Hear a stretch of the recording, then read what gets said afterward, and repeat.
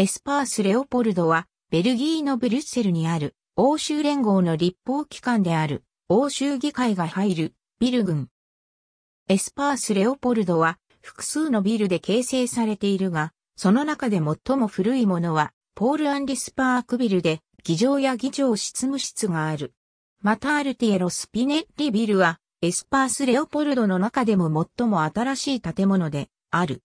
これらのビル群は、ブリュッセル市の東に位置するウロップ地区にあり、1989年に着工されたものである。欧州議会の正式な所在地は、フランスのストラスブールにあるルイーズ・ウェイスビルであって、エスパース・レオポルドではない。しかしながら、欧州連合の諸機関の多くがブリュッセルに所在しており、欧州議会は他機関との活動に接しやすくするために、ブリュッセルにビル群を建設したのである。議会の機能の多くはブリュッセルでなされているが、法令上はストラスブールが正式な所在地とされている。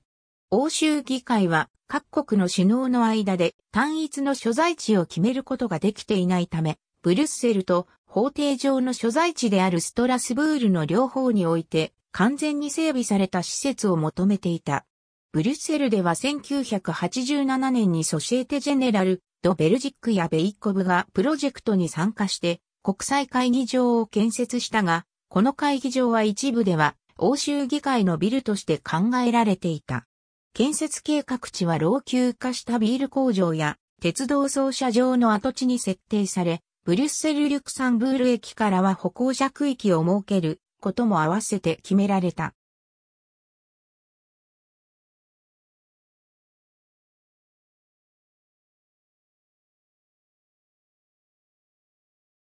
ビル建設計画は1988年までに本会議室の着工がなされたことにより動き出し、1989年には北側の建物が、1992年には南側の建物がそれぞれ着工されていった。政策関連の各委員会、加盟国議会の代表団、各政治会派はエスパース・レオポルドで会合を開いている。そのため、欧州議会の対内関係事務局と対外関係事務局、そして政治会派がすべてエスパース・レオポルドに集まっている。1991年にスピネッリビルが着工され、1997年に完成した。また拡張計画の最終段階である、リュクサンブール広場に向かってトレベ通り、鳥居や通り沿いに建設されていたアンタルビルとブラントビルが2008年にそれぞれ完成した。アンタルビルとブラントビルの完成により、エスパース・レオポルドは十分な広さを確保することができ、向こう10年から15年は、新しいビル建設計画は不要と見られている。このため、欧州議会の活動の4分の3がストラスブールではなく、エスパース・レオポルドで行われている。リュクサンブール広場から望むエスパース・レオポルド中央に古い駅舎があり、それを挟んで新しい建物が並ぶ。2008年、トレベ通り、トリーヤ通りとリュクサンブール広場に沿って建設される拡張計画が完了した。これらのビルはもともと D4、D5 と呼ばれていたが、誰の名前を付けるかということについて議論となった。ヨハネ・パウロ2世の死去を受けて、ポーランド出身の欧州議議員の間からは、バーツラフ・ハベル、ネルソン・マンデラ、オロフ、パルメ、ヤンパラフ、マーガレット・サッチャーの名前が挙げられたほか、ポーランドの大統領レフ・カチンスキと、同国元首相のヤロスワフ・カチンスキの双子の兄弟に、ちなんで、カチンスキタワーズというものも挙げられた。2008年1月に、新しいビルの名前が、最終的に決められ、1969年から1974年まで西ドイツの連邦首相を務めたビリー・ブラントと1990年から1993年までハンガリーの首相を務めたアンタル・ヨージェフの名前を付けることになった。この二つのビルと既存のビルとをつなぐ橋には1949年から1963年まで西ドイツの連邦首相を務めたコンラート・アデナウアーの名前が付けられた。また、議会のプレスルームには暗殺されたロシアのジャーナリストのアンナ・ポリトコフスカヤの名前が付けられた。2008年9月、欧州議会は初めてブリュッセルで定例の本会議を開いた。これは、ストラスブールの本会議場の天井の一部が崩落したことにより、一時的に議場を移すことを余儀なくされたためである。2009年1月14日、欧州議会は、ビル内にある部屋に、近年死去した議員の名前を付けることを決定した。議会図書館の読書室に、フランシスコ・ルーカス・ピレス、調停委員会の会議室にレンゾ・インベニの名前を付けることとした。エスパース・レオポルドは、議場のある、ポール・アンディスパークビル、アルティエロ・スピネッリビル、ビリー・ブラントビル、ヨージェフ・アンタルビルと、かつて、ブリュッセル・リュクサンブール駅の入り口として使われていた、建物を改装したビルで構成されている。スピネッリビルとブラントビル、アンタルビルとは、コンラート・アデナウアー歩道橋でつながれている。ポール・アンディスパークビルは、ブリュッセルで本会議が行われる際に使用される本会議場が入るビルで、本会議場の他にも、プレスセンターや議長執務室、議会の主要事務部門が入っている。スパークビルは、他のビルからレオポルド公園に向かって突き出るような形になっており、その先は木で囲まれている。目を引く樽の形をしたガラスの屋根、水晶宮を思い起こさせる外観を持つスパークビルは、ブリュッセルではカプリースデだと呼ばれている。この通称は同じ形をしたチーズの名前にちなむものである。ビル上部のドームは報道機関向けの祭事や特別な機会に使用される。ガラスの外観はエウロペの誘拐などのギリシア神話が描かれたありじ、殺数による巨大なモザイク画が施されている。スパークビルの西側にはアルティエロ・スピネッリビルがあり、この二棟のビルは二層の歩道橋で結ばれている。このビルは、欧州議会議員を務めたアルティエロ・スピネッリの名前が付けられており、主に議員や政治会派のオフィスが入っている。また店舗やカフェテリア、会員制のバーも入居している。エスパース、レオポルドのビルとしては、最大の37万2000平方メートルの面積を持ち、また17階建ての5棟の高層ビルを合わせた形となっている。スピネッリビルの西には円形のコンラート・アデナワー歩道橋がビリー・ブラントビルとヨージェフ・アンタルビル、駅舎級棟とを結んでいる。ブラントビルには2007年7月に対外関係事務局と欧州会議派の議員が入っている。ブラントビルには375のオフィスが入り、またアンタールビルには5つの会議室と25の通訳ブース、報道設備が入っている。2008年10月7日には、アンタルビルでの初会議が行われた。アンタルビルのトレベ通り、トリーア通りに面した地上階には、ブリュッセル・リュクサンブール駅への連絡口がある。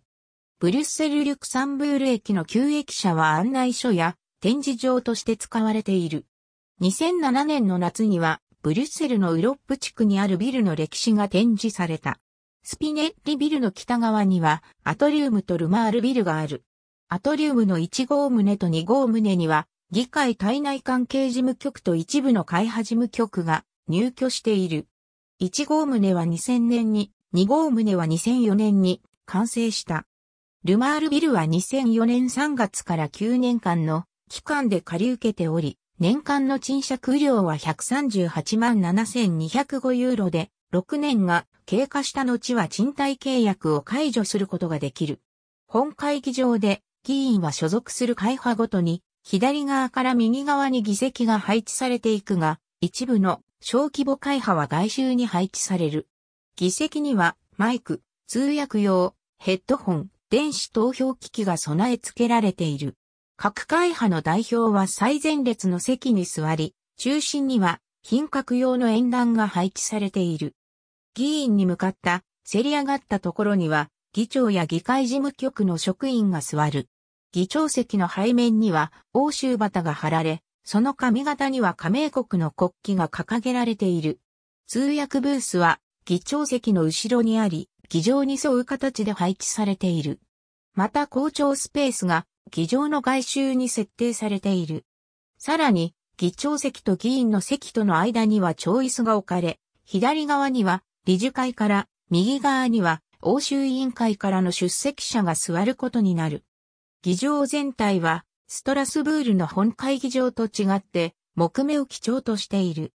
2003年には翌年の欧州連合拡大に備えて議席や通訳ブースを増やす改装が行われた。議会、委員会と本会議は一般開放されている。本会議が開かれていない時には無料の音声ガイドツアーも行われている。各ビルには店舗や銀行などが入居しており、これらは一般開放され、1日に1万5千人が利用している。